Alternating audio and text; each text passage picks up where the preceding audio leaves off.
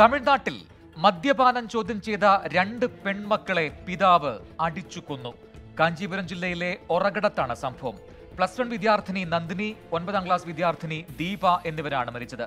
പിതാവ് ഗോവിന്ദരാജനെ police arrest ചെയ്തു.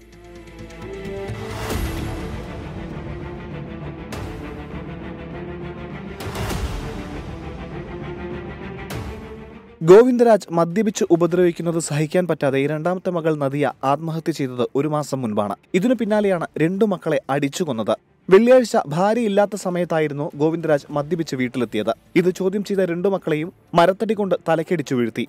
നാട്ടുകാർ ഇടപെട്ട് ആശുപത്രിയിൽ എത്തിച്ചെങ്കിലും രക്ഷിക്കാനായില്ല. മക്കളെ അടിച്ചു വീഴ്ത്തിയ ശേഷം രക്ഷപ്പെട്ട ഗോവിന്ദരാജിനെ നാട്ടുകാരാണ് പിടികൂടി പോലീസിൽ ഏൽപ്പിച്ചത്.